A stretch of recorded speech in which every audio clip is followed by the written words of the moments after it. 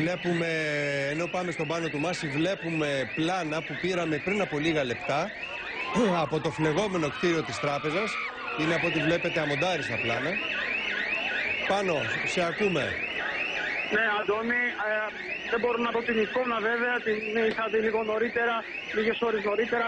Ήταν πολύ δύσκολο να προσεγγίσουν εκείνη τη στιγμή οι πυροσβεστικές δυνάμεις στο κτίριο.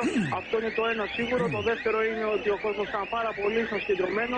Το τρίτο είναι αυτό που λέγε νωρίτερα η Μίνα Καραμίτρου. Πλέον, κάποιες ώρες μετά, θα απομακρυνθεί ο κόσμος από εδώ, από το σημείο που έχει εκτελεστεί αυτή η τραγωδία. Ε, μέλημα λοιπόν της αστυνομίας είναι να απομακρυνθεί ο κόσμος, ο οποίος όπως είπαμε και νωρίτερα, ε, σε πηγαδάκια που ακούμε, σε συζητήσεις που συμμετέχουμε, δεν πιστεύουν ότι υπάρχουν τρία αυτή τη στιγμή, είναι συγκεκριμένες οι απόψεις και γι' αυτό και ακριβώς υπάρχει μια, δεν θα λέγαμε ένταση, μια έντονη νευρικότητα.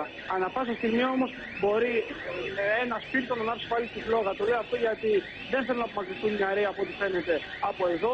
Η αστυνομία προς το παρόν στο σημείο κρατάει μια διακριτική στάση, προσπαθεί να τους απομακρύνει, αλλά δεν πάει όμως να είναι μια ε, τεταμένη κατάσταση. Εμείς βλέπουμε πάντα τα πλάνα που τράβηξε την ώρα της, ε, της ε, πυρπόλησης της τράπεζας ο δημοσιογράφος της πρωινής εκπομπής του Μέγκα, της κοινωνίας Ωρα Μέγκα, ο Μάριος Κωνσταντινίδης βρέθηκε εκεί ε, με την κάμερα και τράβηξε αυτά τα πλάνα.